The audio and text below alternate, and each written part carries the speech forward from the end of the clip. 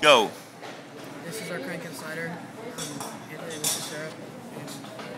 The rotary, the input on this is a rotary.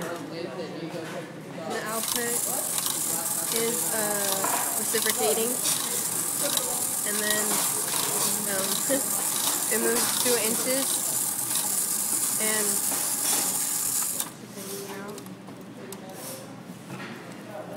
and it increases and. If you increase the cam size, the slider moves moves further. Yeah, it moves further Okay, where do you find one of these? on a train. Okay. Um, is the direction of travel reversible?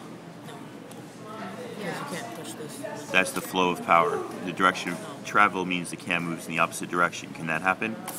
Yeah. Okay. What about the flow of power? Is that reversible? No, Why not?